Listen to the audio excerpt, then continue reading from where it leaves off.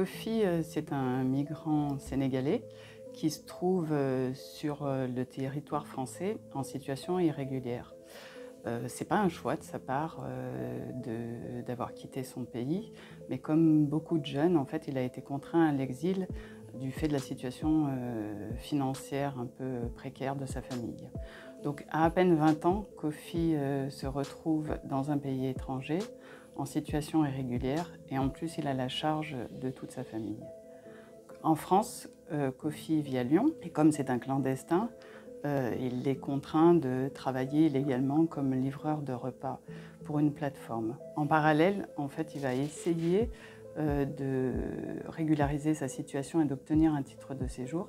C'est ce qui l'amène à rencontrer des avocats du barreau de Lyon. Malheureusement pour lui, cette rencontre va aussi le mettre euh, sur la route d'un tueur.